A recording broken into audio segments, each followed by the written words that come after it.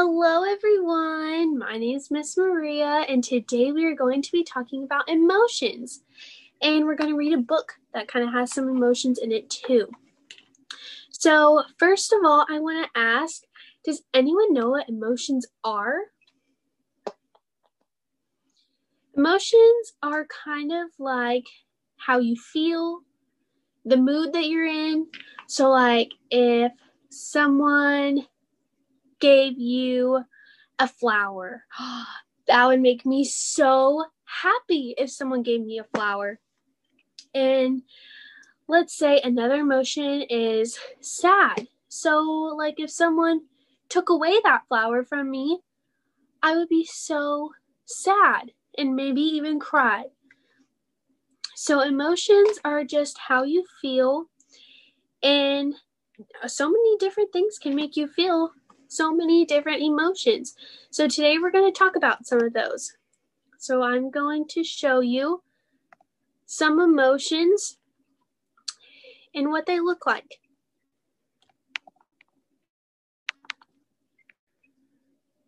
So this is scared. This little boy looks so scared. It looks like someone maybe popped around the corner and made him scream. And how you say scared in Spanish is asustado. Asustado. Perfect. So this boy, little boy, looks so scared. This next one is angry. She looks so angry. And how you say angry in Spanish is enojado. Enojado. Oh, she looks so angry. I wonder what made her so angry. Her nose is scrunched, her eyebrows are kind of down, her arms are crossed. That's how you know she's angry. Silly! This little boy looks so silly. He's making a silly face, sticking his tongue out, and his thumbs in his ears, making a silly, silly face. And how you say silly in Spanish is tonto.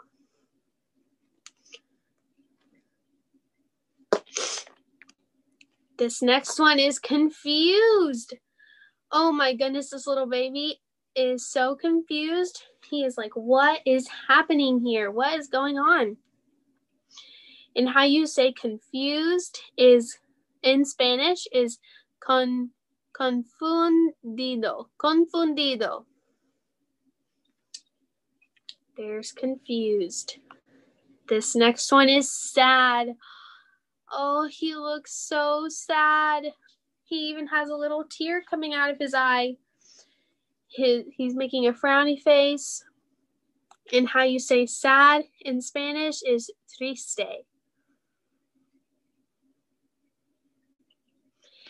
And the last one is happy. And how you say happy in Spanish is feliz.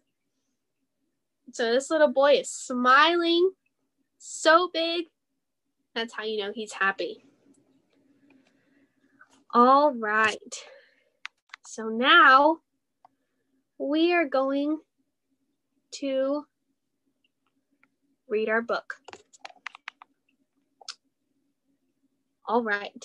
So, the book that we're going to read about uh, emotions is called Leonardo the Terrible Monster and this is by Mo Willems. So there's Leonardo right there. Already he looks kind of scared. See his eyebrows? Kind of looks scared. All right. Leonardo, terrible monster. Leonardo was a terrible monster. He looks sad over there. He's making a little frowny face. I wonder why he's sad. He couldn't scare anyone. Oh, he looks frustrated and kind of angry. Probably screaming because he's so mad that he can't scare anybody. He didn't have 1,642 teeth like Tony, Look at Tony. Down here it says, note, not all teeth shown. So those aren't even all his teeth. We can't even see them all. He wasn't big like Eleanor. She looks so big. You can only see her legs. And he wasn't just plain weird like Hector. There's Hector.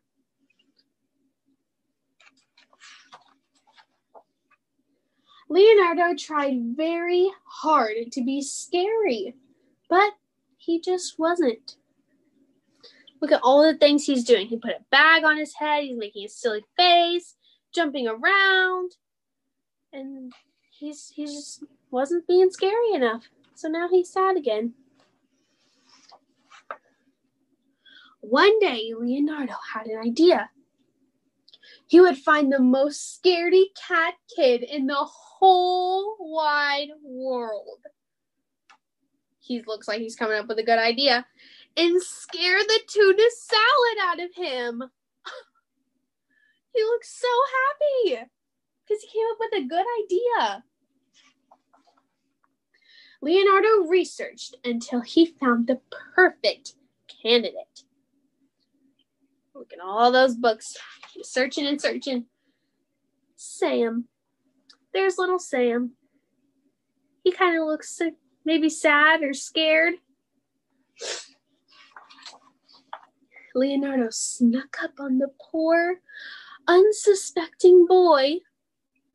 Look at him, he's coming up on him. And, ga- and the monster gave it all he had. Blaggle, blaggle, wah, grr, roar. He is scaring him, and he just looks so surprised. He doesn't know what to do. Until the little boy cried. Oh no! He's so sad he cried. Yes, cheered Leonardo. I did it. I finally scared the tuna salad out of somebody. Look, he's so proud of himself. No, you didn't, snapped Sam. Look, he's saying, No, you didn't. Oh, yeah, replied Leonardo. Then why are you crying? Why is he crying then? If if Leonardo didn't scare him, I wonder why he was crying. my mean big brother stole my action figure right out of my hands while I was playing with it, and then he broke it on purpose, and I and it was my favorite toy and i tried to fix it but i couldn't and i got so mad i kicked the table and i stubbed my toe on the same foot that i hurt last month when i accidentally slipped in the bathtub after i got soap in my eyes after trying to wash out the bird poo that my brother's cockatoo pooped on my head and i don't have my friends and i don't have any friends and my tummy hurts oh those are all the reasons why he's sad and why he was crying. Look at him. He's so upset. That's why. Now, Leonardo looks kind of sad too. Then Leonardo made a very big decision. Instead of being a terrible monster, he would become a wonderful friend. And he's hugging him, saying, It's okay. So he's being a good friend. And now they're smiling and walking together and holding hands. So it looks like they're happy. But that didn't mean that he couldn't try to scare his friend every now and then. Boo! Oh, he got so scared. He's shaking. And now he's chasing, Sam is chasing Leonardo now. The end. So it looks like they scare each other now. That is it.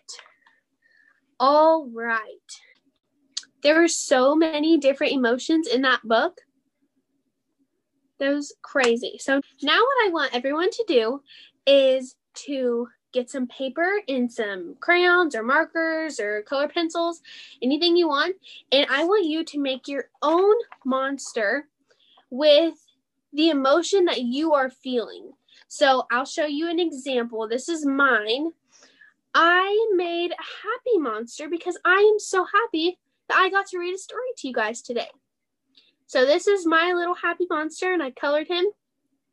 And so I want you guys to do the same thing but with a different monster of your own creation and with the feeling and emotion that you are feeling right now. So you could be sad or happy or excited or nervous, confused, whatever you are feeling. I want you to draw that emotion on your monster.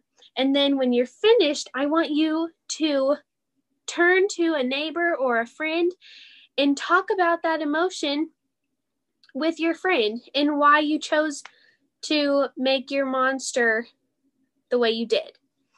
So, I hope you guys will enjoy this little activity and I hope you enjoyed the book. And thank you for letting me read to you today. I hope you all have a wonderful day. Bye.